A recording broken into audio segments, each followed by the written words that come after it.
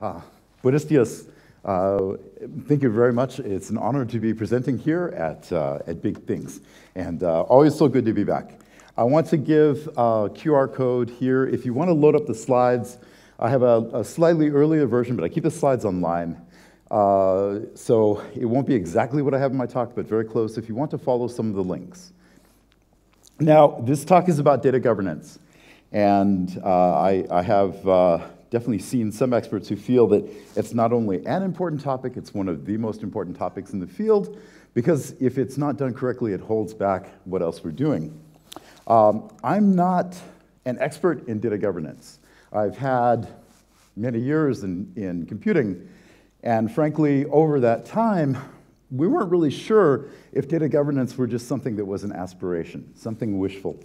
Um, but the fact is, I'm a practitioner in data science, and this has become a very vital topic. So it should be something that I know about. Uh, the history of this talk was that my, my colleague, Ben Lorica, who uh, helped create the, uh, or helped uh, lead, I should say, the uh, O'Reilly AI conference, also the Strata Data conference. Uh, ben Lorica and I had been doing some surveys, and we found so much interest in the field about data governance and closely adjacent topics.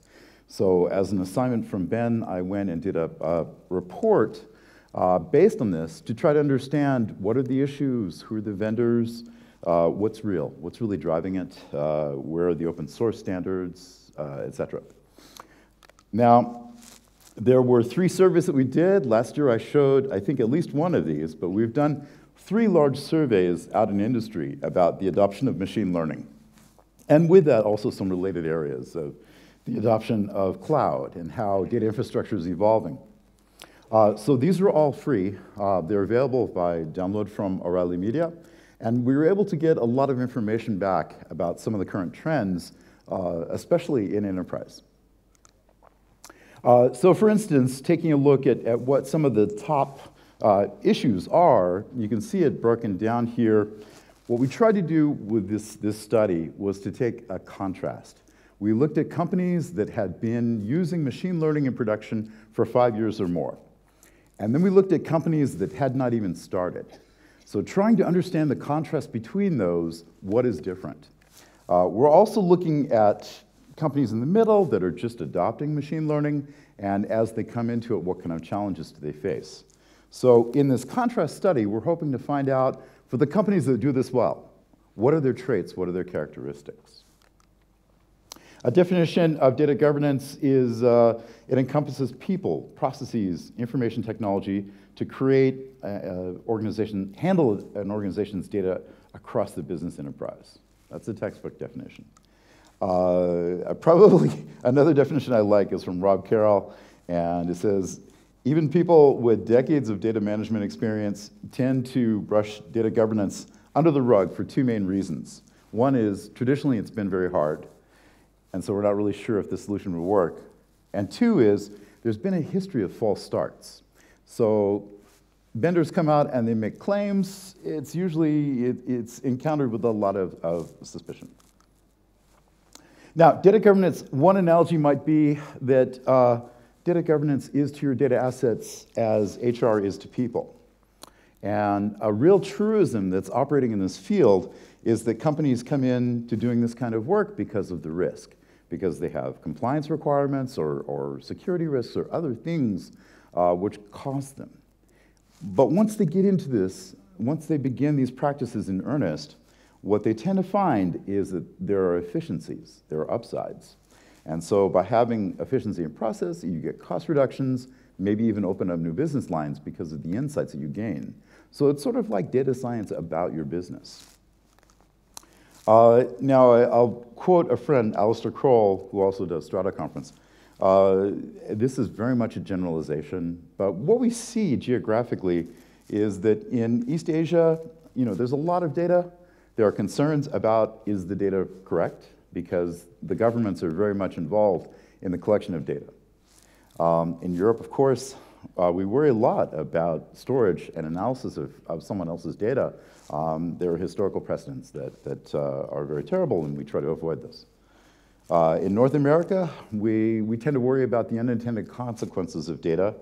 uh, because it's, it's very litigious. There's a lot of attorneys, and a lot of legal action is what's driving it. Um, but in reality, all three of these concerns are valid.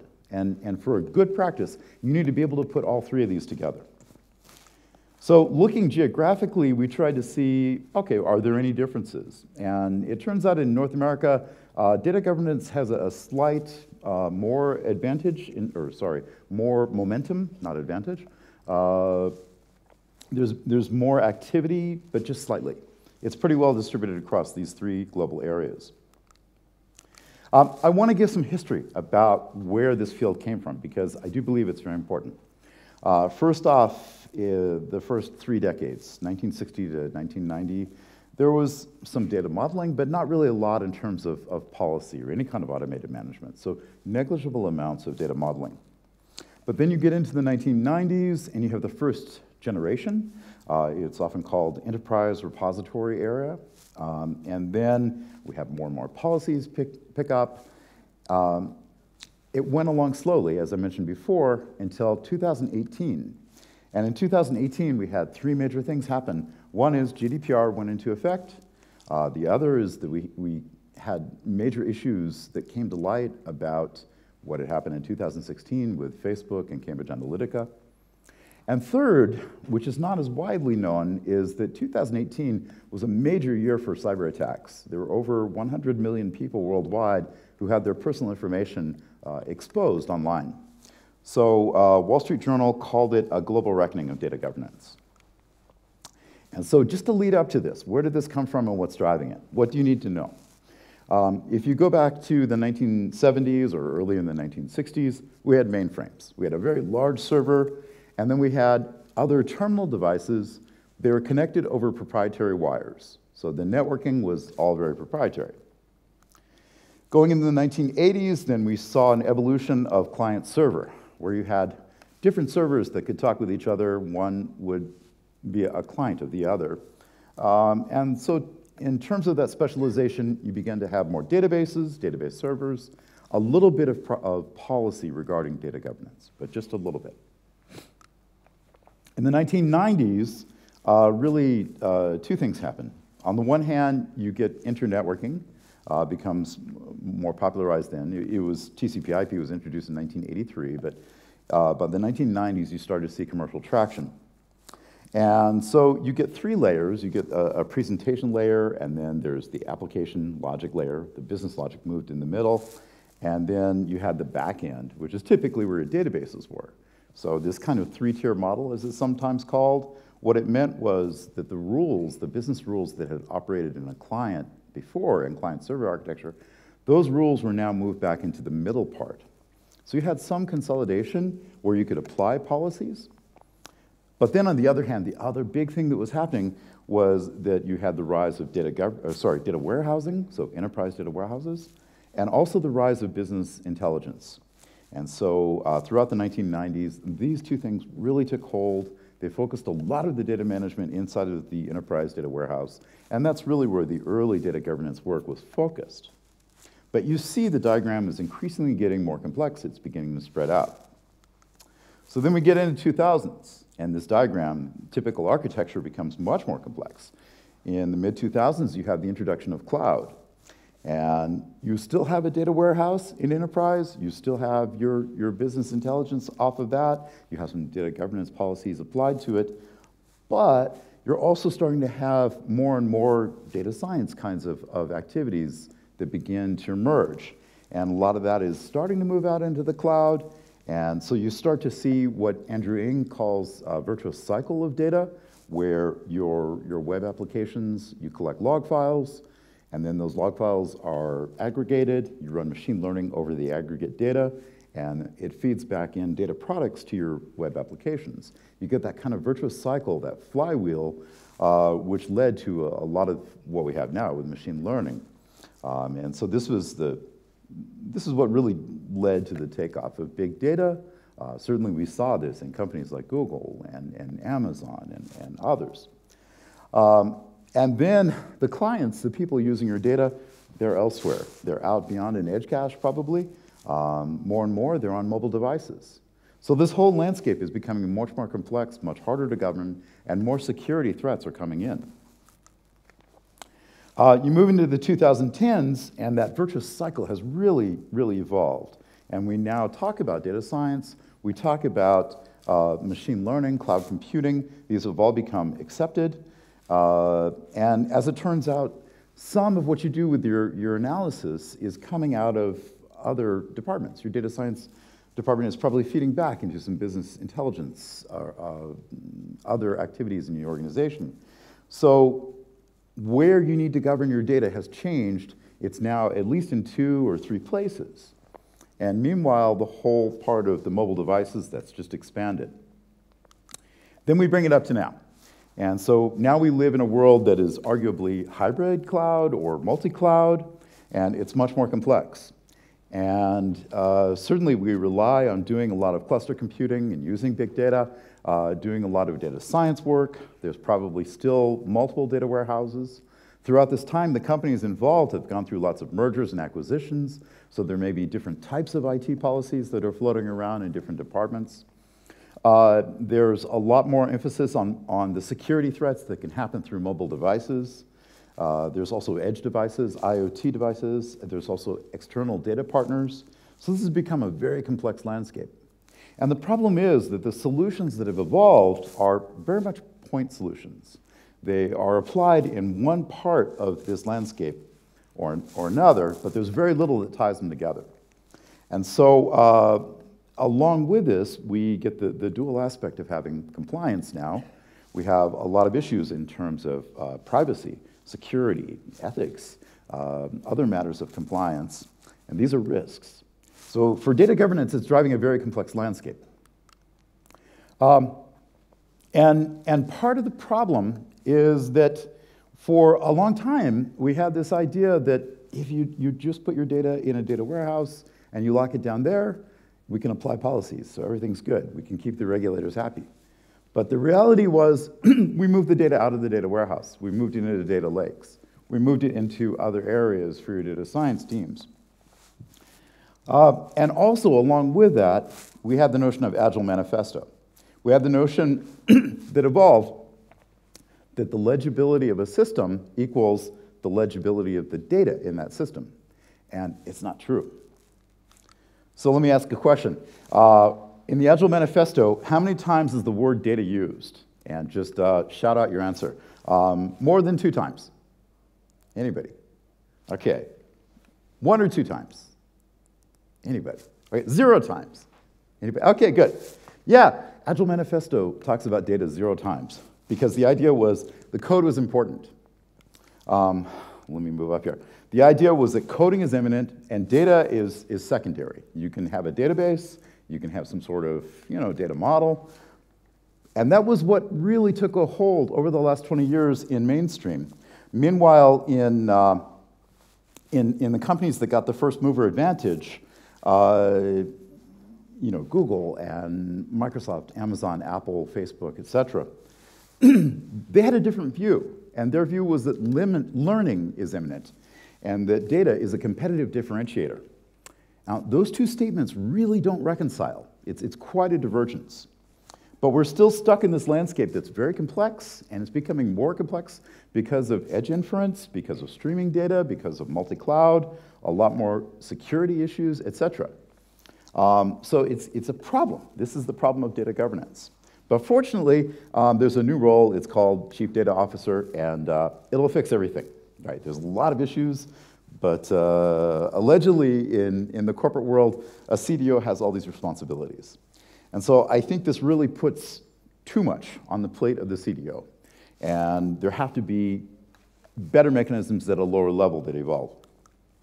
Okay, so uh, to that point, we went out to research and find what is available.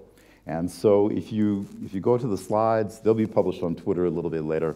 Um, also, uh, I, I, have these online, but it, we created uh, some Google Docs. Uh, there's some Google spreadsheets that, that do a survey of all the different vendors in this space, as well as what are the different open source projects that are available in this space, trying to compare their maturity and understand their, their relative kinds of features. Uh, now, certainly there are the big four that have been around for a long time, IBM, SAS, Informatica, SAP, but there are a lot of other smaller firms that are coming up. And if you, if you look at the dates, it's interesting because some of the new ones really came out in 2014 or so, in the past five years. So we have seen a lot of, a lot of momentum for new solutions here, although again, they're still point solutions. Um, but fortunately, there are standards that have been emerging. So if you work in science, uh, you may have heard of the, the FAIR guiding principles, FAIR data principles, and uh, uh, Mark Wilks, uh, Willickson and Carole Goble and others. So this is good as far as research is concerned. definitely has excellent guidance toward how to share data, what the data providers need to do, um, and also really driving toward reproducible research, which is important in science, but also important in industry. For data science teams, you need to be able to make your results reproducible so that other departments can agree, uh, you can get confirmation, but also just in terms of security to make sure there weren't mistakes, that you aren't making decisions off the wrong data. Uh, there's also the standards, if you haven't worked in the, the metadata era, area of this, uh, but there are, there are metadata standards such as DCAT, which describe very formally um, how to represent a data catalog, which is usually a core component of your data governance. Uh, there are related things like uh, and PAB and other standards. These have been around for a while, and, and they're used actually quite a lot. Um, maybe not as visible to the end user, but they're under the hood. Um, there's also a project called Egeria, and this is now at the Linux Foundation out of ODPI. Um, IBM has really pushed this. In particular, Mandy Chessell, has a, who's at IBM UK, has an excellent uh, paper called The Case for Open Metadata. And there have been implementations for Apache Atlas and others, uh, but the notion is that while we have point solutions to address uh, what is our data governance in a data lake, what is our data governance uh, on mobile devices, what is data governance for IoT, et cetera. While there are those point devices, the important thing is if you have standards for metadata exchange, then you can validate that these devices have the ability to talk with each other correctly. And so by having that kind of exchange, it's a little bit more of an internetworking model. And that makes the most sense for right now. Um, as well, there are government initiatives in the US, and I've been involved in this over the past year. I've, I've been much more involved in this area. I didn't ever think I'd get involved in government, but uh, apparently so. Um, so there was some legislation that went through in the US uh, Congress called evidence-based policymaking. And uh, there were prior laws as well uh, as far as data quality. But evidence-based policymaking, uh, that's led into a strategic initiative out of the federal government. There's a, a year one action plan. Uh, there have been executive orders about artificial intelligence. And it's interesting, what it says is that the different agencies that are managing data, um, as much as possible, they need to make that data available for other agencies or researchers to use. Um, it's intro introducing many data science principles into governance, at least in the US. Um, okay, and the other problem is while we're doing all of this, machine learning became very popular, very valuable, very useful.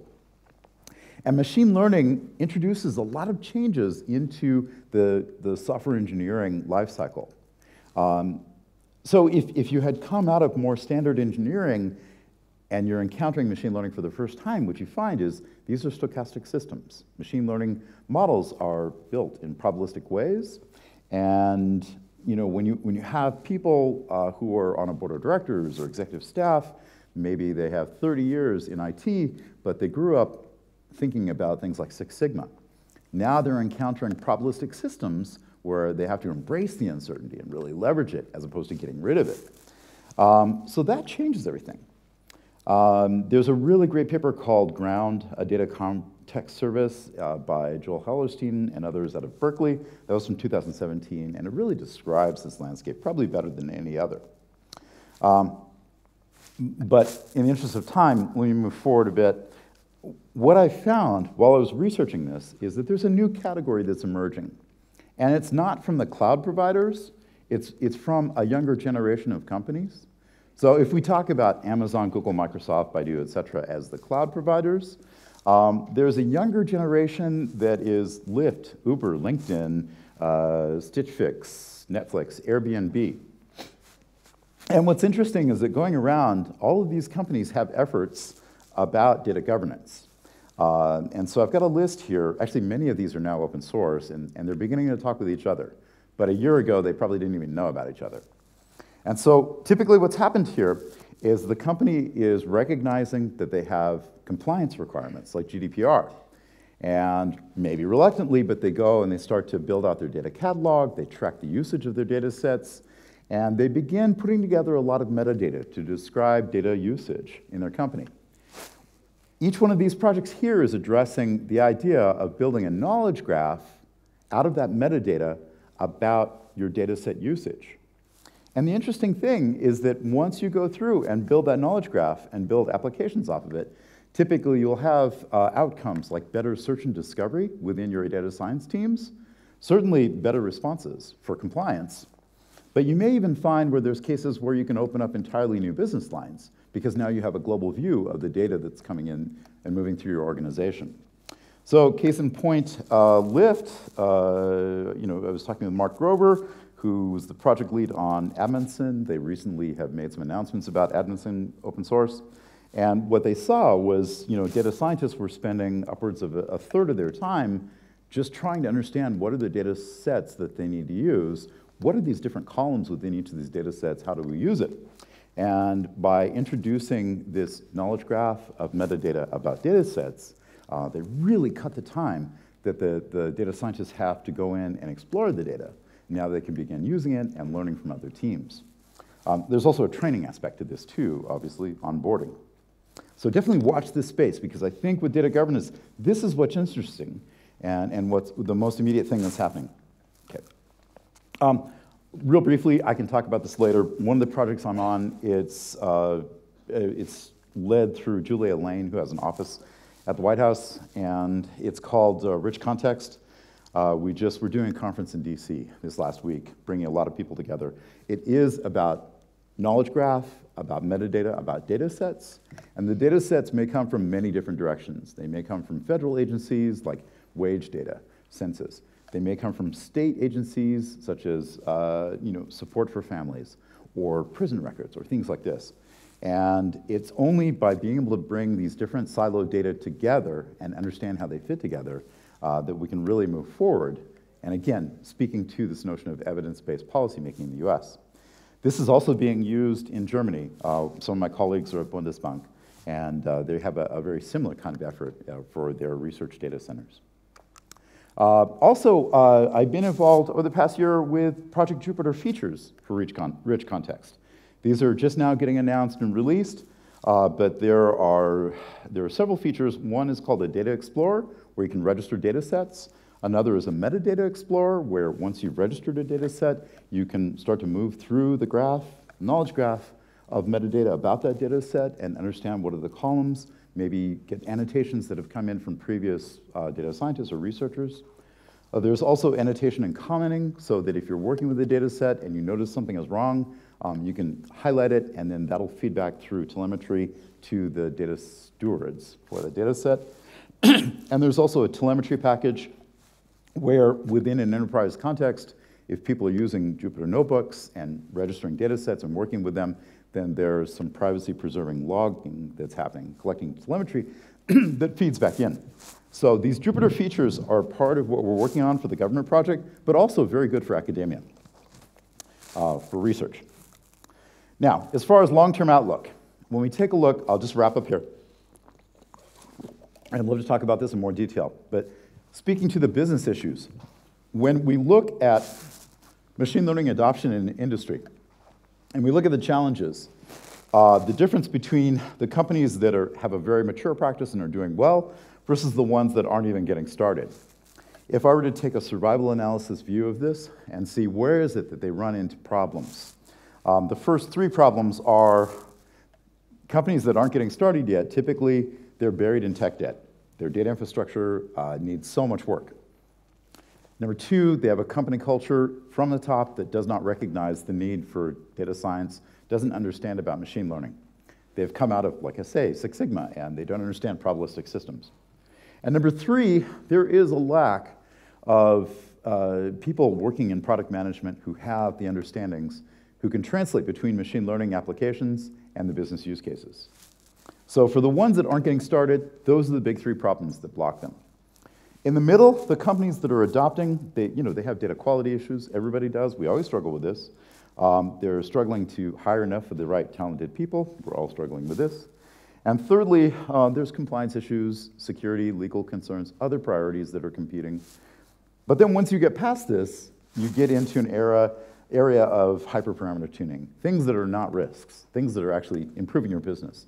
And my talk tomorrow about AutoML will explore that.